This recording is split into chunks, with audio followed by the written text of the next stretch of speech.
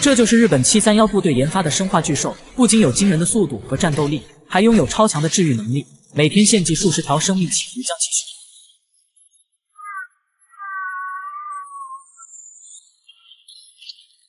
可他们并不知道，这只怪物竟慢慢恢复了自主意识。就在两人交谈时，已经乘坐电梯偷偷来到了楼上。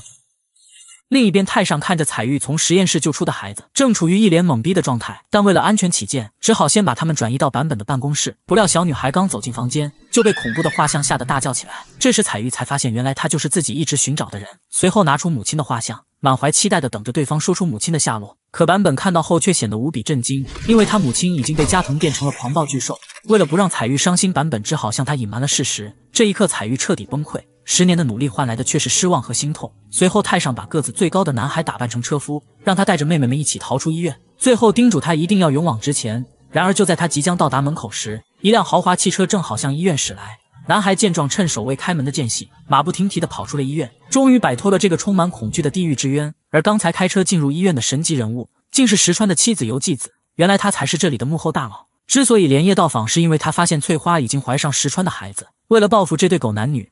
命令院长一定要让翠花好好活着，直到她生下孩子为止。到时候让她体会到生不如死的感觉。院长听后立即下令把翠花转移到地下二层的牢房。而此时的怪物正在地下三层蠢蠢欲动，无意间发现启动电梯的开关。当几名士兵准备返回时，竟看到恐怖的一幕。下一秒向他们展示扯淡的真正含义。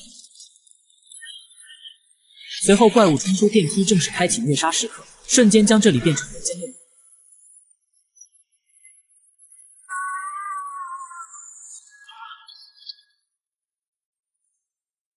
另一边，太上准备到地下室继续寻找翠花和彩玉失踪的母亲，不料刚走出房间，就和巡逻的日军迎面相撞。太上一把将彩玉拽到墙角，让紧张的气氛瞬间充满荷尔蒙的气息。好在有版本在前面掩护，帮他们成功逃过一劫。为了不打草惊蛇，版本和清洁工回到各自岗位，剩下的四人再次来到楼顶，准备从通风管道进入。这时，阿俊看到之前被打晕的黄狗，毫不犹豫举起手中的武士刀。让他们接受上帝的审判，不料这一幕却被瞭望塔的守卫看到。很快，一群黄狗冲到楼顶，发现了那些惨死的同伴。就在他们处理尸体时，其中一名士兵无意间注意到通风管道的异常。此时，太上几人已经顺着通风管道来到了洗衣房，可还没等他们离开，那名士兵便持枪出现在了身后。本以为他们一个手起刀落就能干掉对方，没想到士兵力大如牛，一把将彩玉击飞。太上见状，急忙上前帮忙，而阿俊却趁两人打斗时逃出了房间。最后，太上在主角光环的保护下解决了对方。不幸的是，腹部的伤口也因此裂开。彩玉看到后被深深感动，这才发现他居然身受重伤还前来营救。刹那间，眼神中充满了浓浓的爱意，让太上感受到了前所未有的温暖。父亲被这把狗粮撒得猝不及防，决定和他们分开行动。半个小时后，在约定地点汇合。不料，两人刚走出房间，就听到走廊里传来怪兽的嘶吼。紧接着，一名士兵漂浮着出现在他的面前。太上被吓得不敢吱声，傻傻的愣在原地。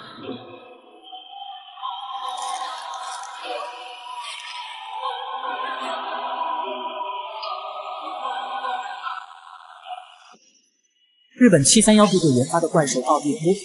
坚固的钢筋水泥在他面前就像豆腐渣一样被轻松捏碎。面对如此可怕的怪物，太上被吓得胆颤心惊。下一秒，一只触手突然向他袭来，太上凭借敏捷的身手成功躲过致命一击，但手臂还是被触手划伤。紧急时刻，彩玉一个飞铲捡起地上的长枪，可他并不知道眼前的怪兽就是他苦苦寻找的母亲。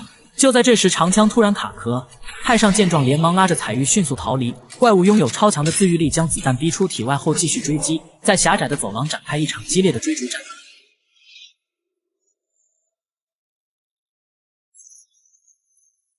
父亲听到枪声后立马跑了过来，看着地上的匕首，预感大事不妙。好在千钧一发之际，两人成功躲进一间锅炉房。与此同时，父亲也追了过来，这才发现袭击他们的竟是一只可怕的怪兽。他赶紧拿出白酒和火药，在地上布下陷阱，然后开枪吸引怪兽的注意。当怪兽向他发起进攻时，迅速点燃地上的火药，在他们之间燃起一道火墙，成功封住怪兽的走。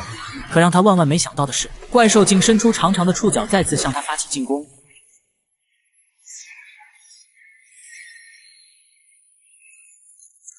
另一边的两人还没来得及撤离，又突然被一群士兵团团包围。为了活命，太上劝彩玉放下手中的匕首。但他没料到黄狗居然要将两人分开关押，这下太上彻底慌了，害怕自己还没得手的女友被鬼子趁机而入，便对彩玉发誓自己一定会来救她。果然，两人分开没多久，彩玉就遭到小鬼子的蹂躏，而太上却被保安队长带到另一个房间，并帮他割断了绳索。原来，队长之前检查版本的手推车时，就从玻璃上见到了太上的身影。之所以没揭穿他，是想让他帮自己在京城安家立业。妻子和孩子都很喜欢这里，打算战争结束后永远留在这儿。太上听后立马轻松了许多，能用钱解决的事根本不叫事儿，只要帮他完成三件事，就会满足他一切要求。首先，让他给金玉堂的母亲打去电话，告诉他下一步的安排，然后将牢房的钥匙给他。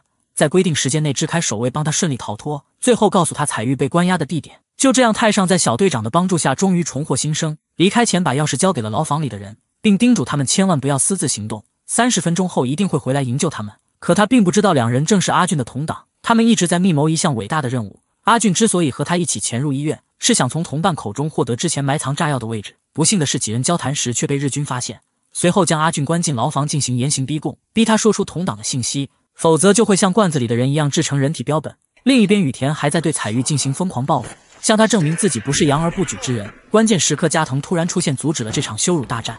随后将彩玉带到自己的办公室，看着他那双尖锐的眼神，仿佛有种似曾相识的感觉，连忙询问彩玉母亲的名字。结果发现她竟是那只生化怪兽的女儿。这时，加藤眼前一亮，偷偷将带有生化病毒的水递到彩玉面前，决定把她像母亲一样也打造成可怕的怪兽。可彩玉行走江湖多年，一眼就看出水里有问题。无奈之下，只好将他暂时关进牢房。这时，彩玉无意间在墙上看到两行血字，发现这里正是之前关押母亲的牢房。这一刻，彩玉瞬间崩溃，因为这是他十年来离母亲最近的一次。就在这时，太上终于赶到，除掉两名守卫后，成功将彩玉救了出来。可彩玉并不愿和他离开，决定独自行动，继续寻找母亲的下落。太上劝说无果后，一把将他拥入怀中，叮嘱他一定要活到最后。随后，两人开始分头行动。彩玉再次找到加藤，逼他说出母亲的下落。另一边，太上准备返回牢房拯救那些无辜的同胞，可当他赶到后，却发现里面早就空空如也。原来熊大、熊二早就带着众人逃之夭夭，结果没走多远就被一群士兵挡住了去路，向他们展开疯狂射击。就在众人不知所措时，太上从天而降，轻松干掉了所有士兵。当他带着大家准备逃跑时，其中一名士兵突然满血复活，然而下一秒。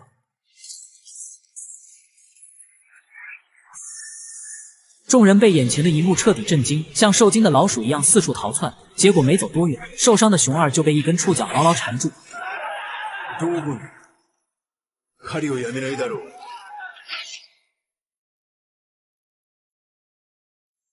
瞬间将他的脑髓稀释殆尽。太上见状，立马挺身而出，为大家争取逃跑时间。他并不知道怪兽拥有超强的治愈能力。即使打光所有子弹，也伤不到对方。千钧一发之际，太上看到地上的压缩氮气，急忙用枪砸开了瓶口。